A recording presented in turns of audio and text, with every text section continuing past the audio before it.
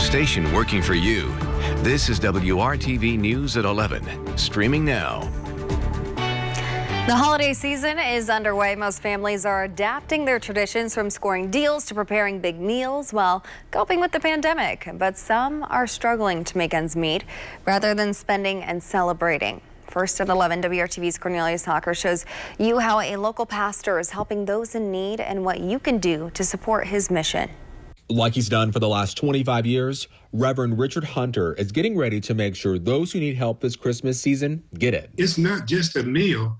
It's it's it's a week's worth of groceries. The Reverend is talking about all the food he gives away, much of it purchased by him and his wife, to give to those in need. He tells us why he makes sure all the items he gives away can last for more than one meal. Take the money you would have spent on groceries and make sure you, your utilities on. If your child needs a toy, make sure that you go buy your child a toy if, if they don't have one. Do those other things to make uh, Christmas more Christmassy. On December 11th, Richard Hunter Ministries and Martin University will be giving Christmas help boxes to those in need. But because of the pandemic, the need is so much greater this year. That's where Reverend Hunter is hoping the community can step up and help. We're asking for donations to buy this food. This is this is brand new food. It's not food that's been in the store or any of that stuff. It's it's coming straight out of the warehouse through Kroger's. We pick it up at Kroger's and put it in the box. The Reverend tells me they plan to give out 550 boxes on the 11th, and he has faith they'll be able to pull it off. This is a blessing for us to be a blessing to someone else. Working for you, Cornelius Hocker, WRTV. If you can donate to Reverend Hunter's Christmas Help Program, you can contact him at the number on your screen. If your family could use some of the help the Reverend is offering, call 317-347-1690 and leave your name and the size of your family. We also have all this contact info posted at WRTV.com. There are still a few days left in November, but this has already become the deadliest month of the pandemic here in Indiana. More than 5,300 Hoosiers have died with COVID-19 since the pandemic began. The State Department of Health recorded more than 1,000 of those deaths in November. Today, another 5,700 positive cases were reported in Indiana. Around the country, experts are concerned about a surge in new infections around or after the Thanksgiving holiday. A Hamilton High, Southeastern High School teacher continues his fight against COVID tonight. He's one of many Hoosiers being treated with convalescent plasma donated by those who have recovered from the virus. To honor Neil Wagner's health battle, the HSE Teachers Union hosted a convalescent plasma drive with the help of Versiti. Dozens of people signed up to donate. The plasma is used to treat patients with severe cases of COVID-19, and supplies are running low as cases skyrocket. One pint of blood impacts up to three lives, and there's no replacement for blood. So um, somebody that comes in here is impacting local neighbors, friends, family. People who have not had the virus were also able to donate blood at the drive and get tested for COVID-19 antibodies. NBA basketball will be back at Bankers Life Fieldhouse next month. The Pacers will host a preseason game against Philadelphia on December 18th. Fans will not be allowed inside. The first part of the Pacers' regular season schedule is expected to be released early next week. And it is opening day for many tree farms in our area, but it looks a little different due to the pandemic. WRTV's Megan Sanctorum visited a local tree farm to find out how they're working to keep traditions alive for families while also keeping them safe. Families coming out to Samble's Tree Farm in Fortville can still walk around and find the perfect tree for their home. But leaders here are taking extra precautions to keep people safe and healthy. he said this year he wanted to uh, cut it down himself. so figure uh, it's it's his turn. It's really hard.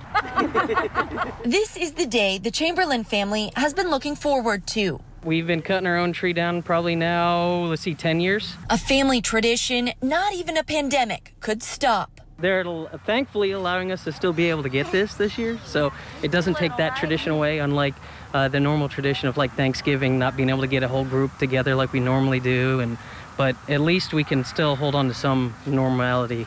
A sense of normalcy families are looking for. I think the demand is there. People still want to get outside where they can do something safely like this, uh, enjoy the Christmas season, and I think on a farm they can definitely social distance and we're requiring masks in certain areas. The owner here says he's also requiring appointments this weekend to help control crowds. Everyone will still get a tree. We're just going to make sure that everyone doesn't come out at, at the same time. He says last year they sold more than 400 trees on opening day. This year they'll do around 275. By the end of the season, though, he still expects to sell the same amount of trees or more than years past. There you go, like that. There you go, there you go, there you go. This year's been completely different than any year that uh, I think anybody can even recall. So adding this right here uh, and bringing home at least a little tiny bit of, uh, of what it used to be is invaluable. That's what makes the holiday spirit. Push it. There it is. We got it. Working for you, Megan Sanctorum, WRTV. Despite record spikes in unemployment, experts expect Americans to spend more this holiday shopping season, which kicked off today with Black Friday. WRTV's Nicole Griffin shows you many shoppers are avoiding the large big box stores and choosing to spend their money locally. While she's home for the holidays visiting from Nashville, Jane Shea brought her daughter to unplug soy candles in Fishers. I told her about this amazing store, making our own candles. Jane just discovered the local business last week, and Black Friday is her third trip back. It's just warm and inviting. It's it's cute. Everybody's so friendly here. It is so neat. You can come in and pour a candle, any size. It's really for any price range. Patricia Freund is a regular at Unplug, spending her Black Friday shopping local as well. My husband owns a local business, and so I know the importance of making sure that people do shop local all the time. Uh, pandemic or not. Jennifer Sturgill and her husband are the owners. For the first four years, they were located in Fortville, but bought this new building in January. Did a full build out during COVID, so it was nerve wracking, but it was a good time to kind of pivot our business and to put a lot of focus into our retail and what we wanted our experience to be for customers. She says thankfully support from the community during the pandemic has continued to bring her business success. She says this year, people are spending more time at home burning their candles. I think it's so surreal to think about how many connections and friendships we have created over this last five and a half years with customers that have been with us since we started selling at the Noblesville Farmers Market. And to now see them come in and enjoy our brand new shop with their friends and family and safely pour candles, you know, and have something to do when they could choose to go anywhere else. It's it's fantastic. And tomorrow is Small Business Saturday. Unplugged Soy Candles is having their biggest sale of the entire year. They hope the community will continue to come out and support them. Working for you in Fishers, Nicole Griffin, WRTV. Store owners across central Indiana have high hopes for Small Business Saturday. Still ahead, I'll take you to Greenwood, where shops are counting on your support. I'll have your hourly Saturday forecast, but also gaining attention will be our Monday snow potential. More on that straight ahead. And with snow in the forecast, animal advocates are mobilizing to make sure the outdoor pets of Indianapolis are safe and warm. We'll be right back.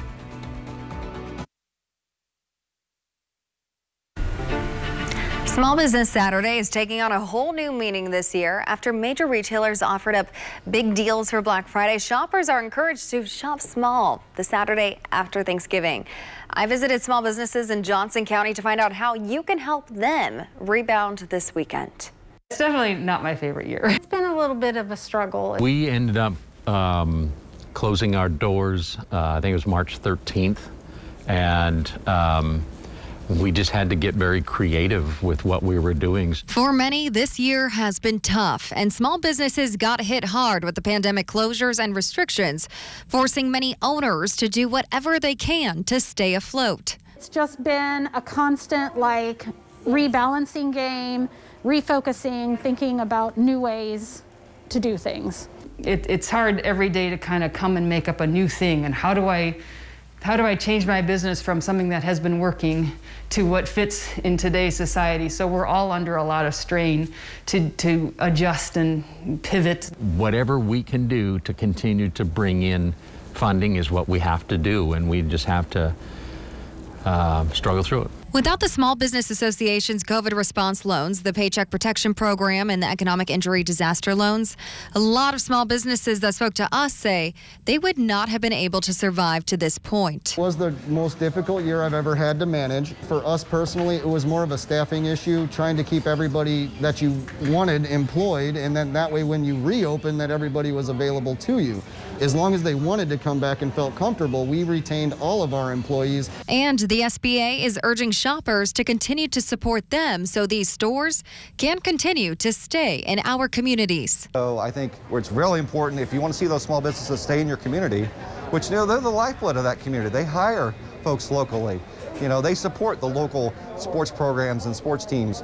They are entrenched in these communities, and we need them to survive. They employ 50% of all Hoosiers from small businesses. Statistics from American Express's Small Business Saturday website show 62% of small business owners need to see consumer spending back at pre pandemic levels by the end of the year, or they won't survive. Shopping local is just a small price to pay for quality that you simply cannot find online. Considering we're a full service shop, you can't get service online. You can't touch the product. Uh, you don't have the communication with another person who actually knows what they're doing. Uh, if you shop too much online, we, not, might, we might not be here anymore. So who's going to service your bike? And the last Yelp Local Economic Impact report shows that in the wake of COVID 19, changing the way stores and restaurants must operate, Yelp says they see both permanent and temporary closures rise across the nation, with 60% of those closed businesses not reopening. That is almost 100,000 businesses that are now closed for good across the U.S. We just go day by day. That's all you can really do right now and see how things turn out for you. Many Hoosier small businesses are asking shoppers this year to support their neighbors, shop small, and put your community first so we can all rebound together. We're just really trying to say this has to be a way of life. If you love having a thriving community and downtown shopping district, places to eat, you have to think of them first. Part of it is your community and the, and the community getting together and saying, this is an important place. This is something that we have gone to all our lives and, uh, and, and we need to keep it going. I just would like, like everybody to know that they, every time they shop small, they really are encouraging the business owners in a way that they might not realize. By responding to the efforts that we've made either on social media or advertising and coming in and actually shopping with us, we, it means the world to us. And there are a lot of small businesses to hit up in the Circle City. And speaking of the Circle City, Monument Circle is looking as beautiful as ever with the Soldiers and Sailors Monument finally lit. Kevin, it looks gorgeous. The Circle of Lights. All you have to say is they're on. The holiday season is underway, and what is a beautiful tradition. Now we'll add maybe some snow to that scene on Monday, make it even more beautiful. 36 in Kokomo up in Howard County. Our temperatures will drop into the upper 20s to around 30 overnight. Then as we go into the weekend, the best day I think of the next week is tomorrow. Saturday we'll have sunshine around. Call it dry and pleasant through the entire weekend. Our chance for snow is there, especially Monday, and we narrow that down mainly in the eastern half of the state with the best chance for accumulating snow along the state line. It will be cold and windy for all of us, so quite a change back to winter as we get to early next week. 46 tomorrow, lots of sunshine. Sunday, the clouds will increase, temperature jumps to almost 50. Then we turn it the other way as the storm strengthens, brings with it a little rain snow mix early in the day, Monday changing to all snow. Tomorrow, it's about sunshine and temperatures comfortably in the 40s, as we mentioned. The wind will be calm, relatively speaking, west 5 to 10 miles per hour. Average temperatures this time of year around 46 or 47. We're in the ballpark across all of central Indiana. Sunday, the clouds increase Temperature increases as well, just to about 50 degrees during the afternoon hours.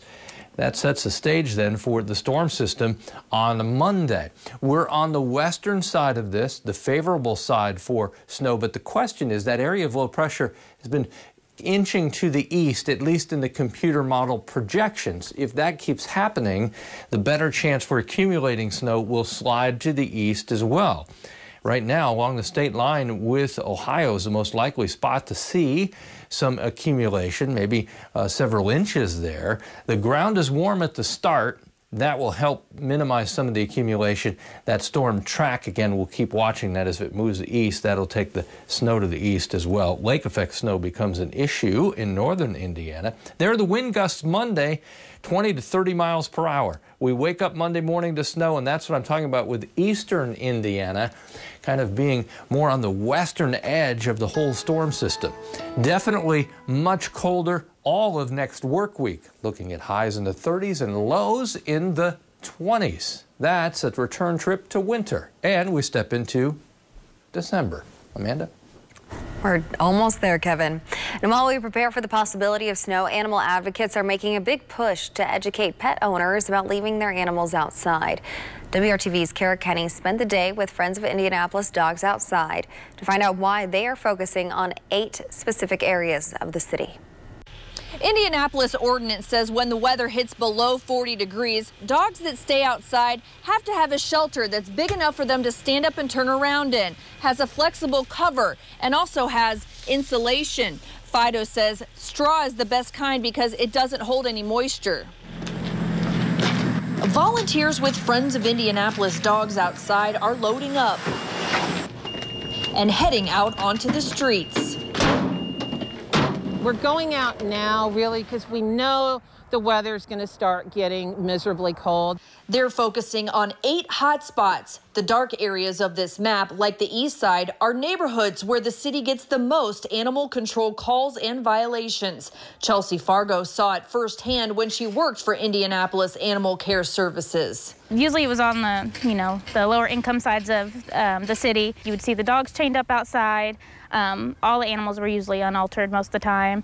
Most of the time they mean well and they love their pets, um, just like family, but they just need help. Their first stop is a family that keeps their dog outside. After making sure the dog has proper shelter, Fido offers to spay their pet for free. Helping you get her spayed, is that something you guys wanted help with and vaccinated? It would be free. And gives them pamphlets with more information. We let people know we're here to help. Um, we want to help you keep your dog in the home. You know, we, we don't we don't want the dogs to end up at the shelter, but we just want the dogs to have, you know, a good quality of life. Their next stop is a German Shepherd chained up outside. Fido was concerned because the dog appears thin and they suspect the chain may be too short and the doghouse is on the small side. They go knock on the door, but no one answers, so they make a note to come back. Although Fido cannot write citations, they can pass cases on to the city if they're not seeing any improvement. If it's to the point where the conditions are really poor, the animal is suffering, and, and the people are not willing to make improvements, that's when animal care services can step in. The animal care and treatment ordinance requires you to bring your animal inside when the temperature hits 20 degrees or below, life threatening temperatures, especially for short haired dogs. Fido also provides dog houses and insulation to those in need. As frigid weather approaches, they hope their efforts will save the lives of many furry friends. Working for you, Kara Kenny, WRTV. If you think an animal is suffering or in danger, you can call the Mayor's Action Center. If it's a night or weekend, call the IMPD non-emergency line. And if you can also contact Fido directly for help. A full weekend of football in downtown Indy. The Colts will play on Sunday, but before that, Indiana's high school football state finals. Brad Brown has a recap of night number one when the news at 11 continues.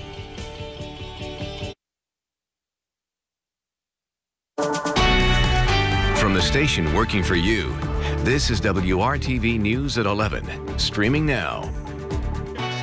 Center Grove and Westfield seem destined on a course for this matchup. The top two teams meeting for the Class 6A championship tonight at Lucas Oil Stadium. CG opened with a turnover to start, then the offense was a machine. Carson Steele scored a pair of first half touchdowns, ran for 138 yards on 31 carries in his final high school game. 14 0 after one quarter. CG goes big in the second. Taven Jackson found Trent Veith open on busted coverage. 73 yard score. They connected for another later. The Trojans scored TDs on five straight possessions.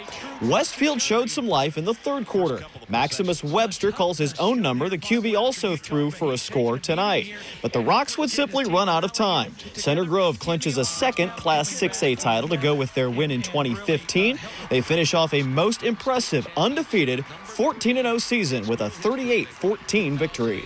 We've all grown up together, and you know we knew this class was special, especially the senior class. And uh, you know, since we were you know eight and nine years old, we've been running the wing tee, and you know, so it's just like a master thing. Kind of just kept running and running and, you know, getting better and better at it as well. Everybody said, we "Were we upset about losing last year?" We totally said we don't care about that. We had a great second half of the football game here last year. Our theme was start to finish, we started and we finished. But this week it was time to finish, and the kids did a great job. I can't thank my coaches and my community uh, enough for all the effort and work they put in. The day's opening game was in Class 2A. Western Boone in the finals for the third straight year. Webo running back Robbie Taylor had a record-setting performance. 43 carries, the most ever in a state final. 210 yards rushing, the last of those into the end zone with 90 seconds left. Western Boone still trailed by two. They would get the ball back with 40 seconds to go. They worked into position for a field goal. Sophomore Josiah Smith lining up for the Stars. He's the son of former Colts punter Hunter Smith. The 39 yard attempt is true. No doubt about it. Webo clinches the three-peat with a thrilling one point victory. I thought about um, the offseason and this summer, how all the seniors stepped up and they were, they really did a great job with the summer teams. Um, Coach Pelly, how he's done all this for us, and I was like, I really want to make this kick. I mean, it wouldn't matter either way, but I stepped up there and I said, well, here goes nothing. Roncalli played in Friday's middle game, the 4A final against Hobart. Rebels quarterback Aiden Leffler threw four touchdown passes in the first half, two each in the first and second quarters, two of the four going to Kyle Lockhart. Roncalli built a 28-0 lead at halftime. Running back Baron Hebler got it done on the ground. 36 carries for 155 yards. He got into the end zone in the third quarter. A nearly perfect performance for Roncalli as they clinch their 10th state title with a 49-7 win. Everything opens up with a really, really good O-line. And I've preached it all year that our O-line was the best in the state. And uh, tonight they proved it. But when you have an O-line like them, everything just opens up. The pass game opens up, the run game opens up, and everything everything revolves around them. And I can't be prouder of all of our guys. I love every single one of them. If I could, I would name every single one of them if I could. But they're all awesome kids, from the line to the defensive backs to the wide receiving core, everywhere. They're all awesome kids. The state finals continue with three more games on Saturday. Covenant Christian is in the Class 1A final for the first time in school history. 3A will have Bishop Chatard taking on Danville. Cathedral faces Zionsville in the Class 5A nightcap. The action starts Saturday at 11 a.m. at Lucas Oil Stadium.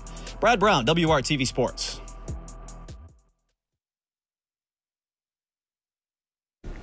The annual WRTV Toy Drive is underway right now. If you have the means to give back, you can drop off new unwrapped gifts at several U-Store locations. We will also be collecting items at Indianapolis area Simon Malls next Saturday, December 5th. For more info, go to WRTV.com slash Toy Drive. Kevin.